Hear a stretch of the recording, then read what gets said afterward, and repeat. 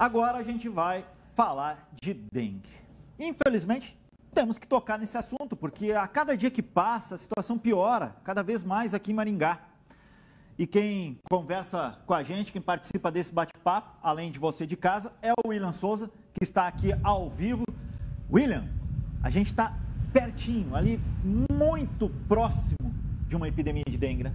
Pois é, infelizmente, Sandro. Boa tarde a você, a Roberta, boa tarde a todos que nos assistem. Infelizmente, essa pandemia, nessa né, epidemia, melhor dizendo, de dengue, está muito mais perto do que a gente imagina, né? A Secretaria Municipal de Saúde diz que, segundo a OMS, a Organização Mundial da Saúde, bastam 300 casos a cada 100 mil habitantes para que a cidade, né, para que o município seja considerado aí, tenha considerado é, epidemia de dengue.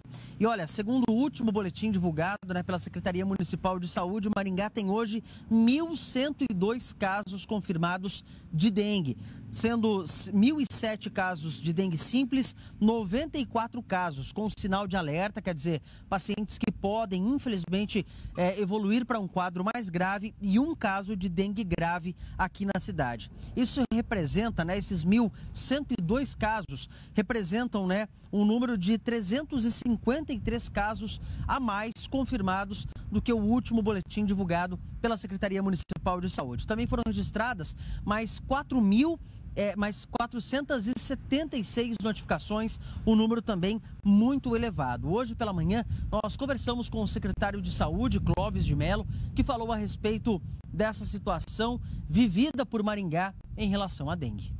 Nós estamos chegando, infelizmente, a 300 casos por 100 mil habitantes, que é onde se caracteriza a epidemia. Então, é, ontem mesmo deu 1.100, 1.100 e poucos casos no boletim, então até sexta-feira provavelmente a gente vai passar dos 1.200 e num boletim da próxima quarta já vai estar maior. E, infelizmente houve um aumento muito grande dos casos de, de dengue nas últimas semanas.